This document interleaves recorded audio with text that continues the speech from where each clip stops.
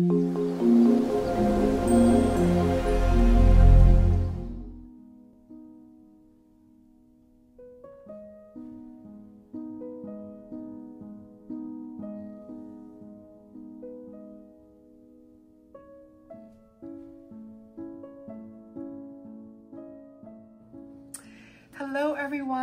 welcome to this week's Dandelion lesson here on Patreon and available to all through my YouTube channel and um, I make them public on Patreon, so welcome.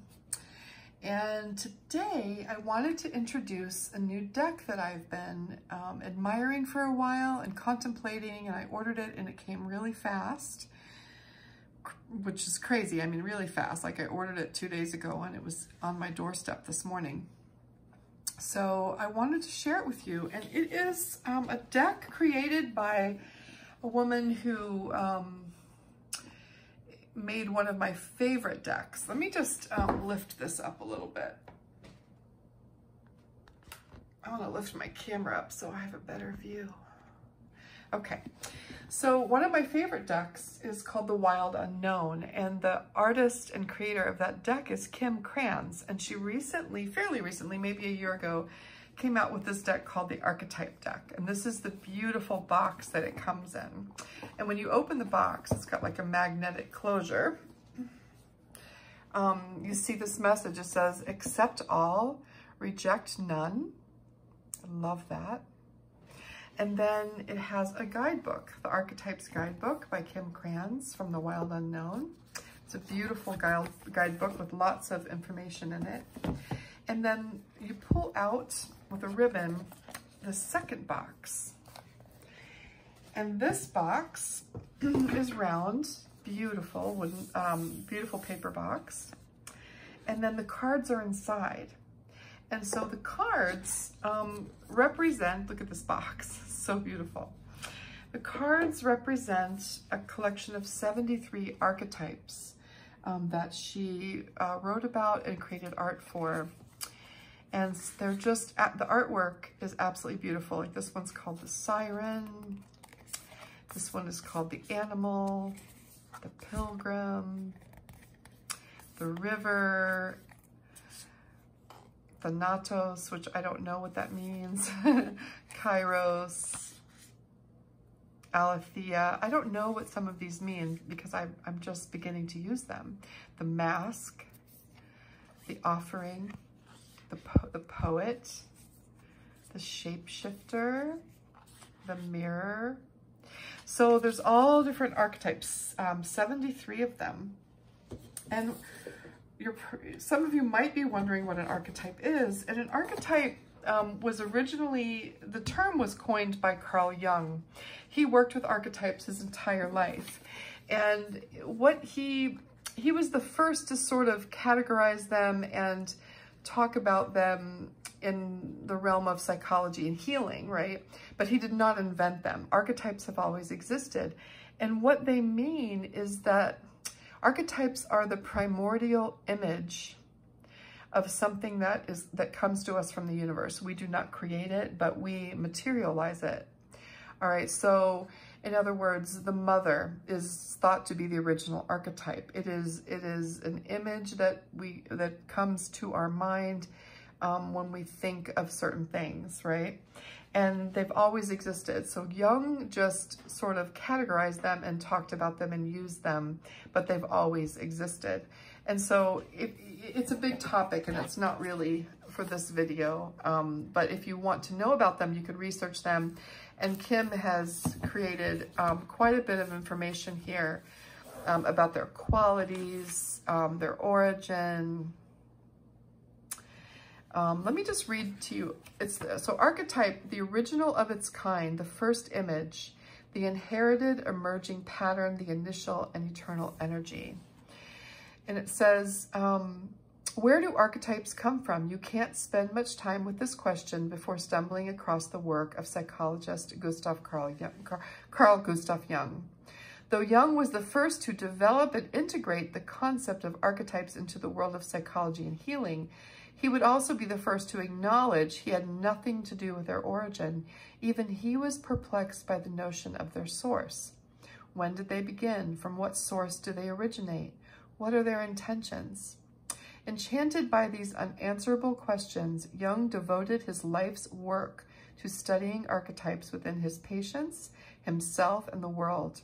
First, he called them primordial images, a term that suggests that they come from the beginning beyond the beginning. It also implies that they are related to images and the imagination. Soon, though, Jung landed on the word archetype and it stuck. And then it says the name itself implies that these energies have been swirling since the beginning of time and are inherent in our very existence. They cannot be suppressed, denied, hidden, gotten rid of, or fixed, no matter how hard we try. We inherit them the, through the very universe, and they express themselves through us. They belong. So it talks about how archetypes are patterns. um, and I like this, this territory. This is really important to me. Throughout this book, you will hear me speak of the imaginal. What does it mean? Where is it? Though these questions defy answering, the simplest way to put it is that the imaginal is the realm of poetry, images, metaphor, and the imagination. It is the deep mystery where everything is possible. Please note it is the imaginal, not the imaginary. The latter term implies it is not real. But the existence of the imaginal, however, is quite palpable here on earth. When the two worlds collide, they take the form of chills while hearing a poem or song, a tear that rolls down the cheek when you least expect it, a synchronicity that confounds explanation, a night sky that is beyond comprehension or description. The imaginal is where the archetypes roam, waiting for us to visit them. And she goes on to talk about the qualities of them and the intentions of them and all different things, right? It's really fascinating. So if you're interested, I suggest doing some research or even purchasing this deck, you know, eventually, if it's something you want to work with. To me, um, archetypes, archetypes are the realm of mystery to me. They are the numinous and um, they richly inhabit the imaginal world that I like to visit sometimes. And so today I drew a card from this deck to share with you. And I drew the card, the seed. And immediately, I mean, it's obviously the beginning of the beginning, right? The seed. And you see this pearl in the center of these concentric rings. It's a really graphic image that, that tells us a lot about its meaning. But I wanted to read to you what Kim says about the seed. So let's find it here. It is under the tools and it's on page 197. The seed. The beginning, the origin, the pearl. Beginnings come in many forms. They are not always a beautiful seed placed intentionally in nourishing soil. Origin stories, like any birth story, are complex, surprising, multi-layered, and usually reveal a central image or detail that represents the fully formed being. Simply stated, the end is present in the, in the beginning, or the entire oak tree resides within the acorn. Whether you follow this imaginal theory or not, know that when this card appears, there is potent generative energy all around. It stirs your very insides and usually results in an antsy, impatient feeling Pay particular attention to what agitates you, as it is a sure sign of growth to come. You are bumping up against a growth edge. It is from the grit that the pearl eventually comes to be. Over here it says, one of the alchemist's favorite images was the pearl, the irritant, over time becomes the treasure. What is your grit? That's a really important thing to think about with our creative practice. One time I heard a voice tell me, be the irritant in his oyster. I've never forgotten it. And um, I think about that with my own work sometimes. What is it that stirs me to create something or to want to say something? What is that origin? Where, what is the irritant in me that causes me to want to say something, right? The true seed is elusive. If we follow any story toward its origin, it spirals farther and farther back in time. In this way, we are always the seed and always the fruit it bears. That's a heavy thought, right? It's, it's something that you have to think about yourself, right? And then at the, at the, for each card, she talks about when, when we're dealing with it in its light form and when it, we're dealing with it in its dark form. And she says about the seed, when light, it is generative, fertile, germinating, and building. And when dark, it is festering, stewing, and dormant. Okay, so we have both of those things within our creative practice. And I'll talk more about that in a minute. And then she says, go deeper. Jane Hillman, James Hillman's acorn theory and the soul's code. So you could look that up and see what that means. And I haven't done that, but I will later for my own benefit. So James Hillman's acorn theory and the soul's code. You could Google that and see where it leads you. A lot of times cards like this do lead me to start sort of a, a search and, and I call it following the wormhole, right? To see where it takes me. So this card, um, when I think about it with the creative practice, it's really about the word, what is our why? Why do we want to create? Why do we want to paint certain things? Why do we want to draw certain things? I think of myself and, and one of the things that I like to draw most often are fields or, paint them. I am enamored by fields. Um, in every stage of their of their life, through all seasons, they call to me, and I paint them and draw them often. I even draw the grasses, individual grasses, or flowers, or insects, or butterflies.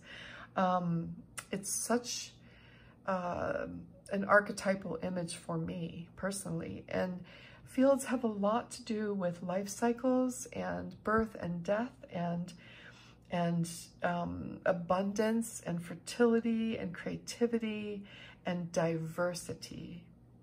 So those are, are things that I think about when I'm drawing or painting fields. These are important questions that we have to ask ourselves. What is our seed?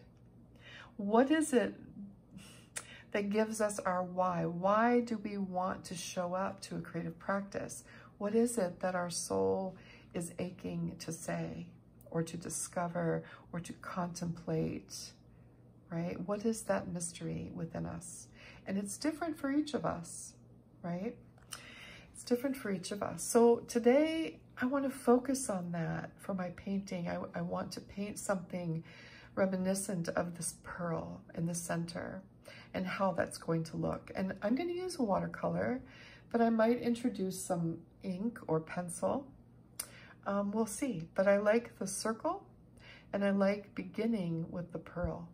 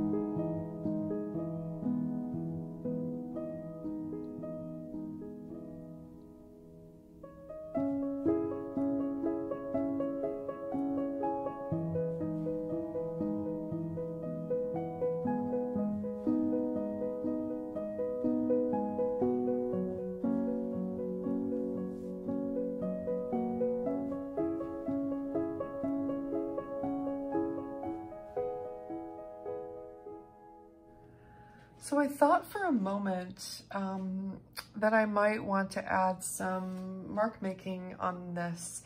I have a gold gel pen that I thought about creating some concentric lines. But the more I looked at this, the more I felt like it was perfect um, for what I was feeling, just the way it is. I love the, the luminous um, transparent colors here. I love that they're all very full of light. They're um, indicative of the field colors that I love so much. I love the way um, the paint pushed out one after another and sort of blended magically in between. I love how the glitter that I used created these very subtle lines down here at the bottom. There, I don't know if you can see them, but there's almost like stardust surrounding it. It's so, so um, subtle. And at the end, I'll put a little video of just this painting held up into the light so you can see it. So I'm gonna leave it as it is, but when you make yours, um, you take it as far as you want. You know, if you feel like putting um, some graphite or ink work onto yours, please do it. Don't, you know, don't stop until you feel like stopping. I'm gonna go ahead and add my chop right here.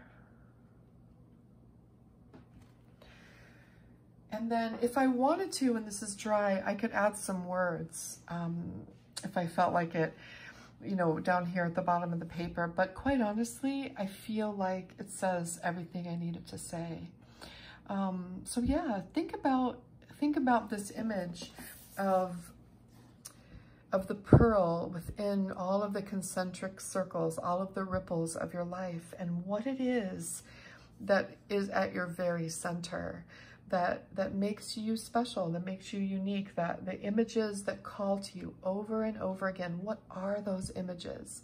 What are those imaginal um, images and archetypes that um, propel you to create, that, that are a catalyst to you in your creative practice? And this work sometimes doesn't come um, right away. Sometimes it takes some time, some exploring, and maybe do some research into archetypes and, and get a list of archetypes that are meaningful to you and start exploring those. There are so many people who have written about them, um, many, many books. I know Caroline Myss has written about them a lot. Um, and, and certainly the direct writings from Jung are very helpful. Um, and I have read them at different points of my life. So really, really special to think about this, um, this archetype of the seed and that question of why. What is our why? So in contrast to the why in our creative practice is the how, right? The how is how we get paint on paper and how we draw and learning those techniques and learning about our tools. That is all the how. And the how is something that we share in common. Um, we all, you know, sort of approach our painting with the same tools, right? And the same techniques, basically. But the why is what makes our expression unique, what, what, what makes our expression individual. The, the why that causes us to show up to our work and what it is that we want to say. All right, I hope that makes sense. It's a lot to think about. It's kind of a heavy subject, but I think it's a worthwhile one um, for all of us as we um, explore our creativity. All right, everybody, that's it for today. I'm gonna make a little video of this sparkle so you can see that. And otherwise, um, for my patrons, I will see you um, either tomorrow or Friday with our last lesson in the Crocus Project. Okay? I hope you are all very well. Be safe. Take care.